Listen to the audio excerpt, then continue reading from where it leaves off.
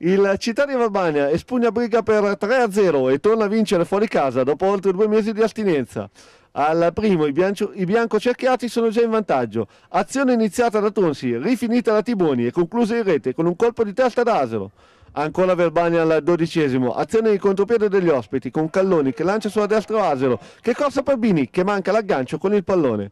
Un minuto dopo, angolo di Tiboni, testa di Asero e Baccin in due tempi fa sulla sfera alla mezz'ora. Calloni ci prova da metà campo. Baccine non è impeccabile e non riesce a trattenere. La palla arriva a Tiboni che cerca ancora Calloni. Il tiro è respinto dalla difesa di casa.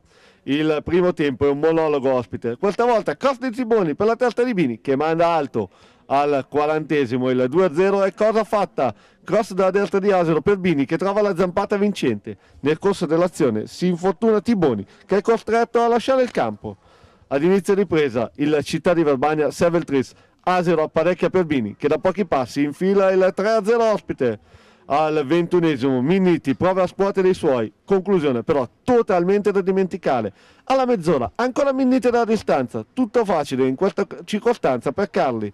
Al 35esimo, Ton si apre per Asero. Controllo e stop sono da applausi, come l'intervento di Massara a salvare tutto al novantesimo. Punizione al limite dei Calloni. Solo il palo. Nega la gioia del gol al capitano ospite. E l'ultima azione in cronaca di una partita che il Città di Verbania si aggiudica per 3 a 0.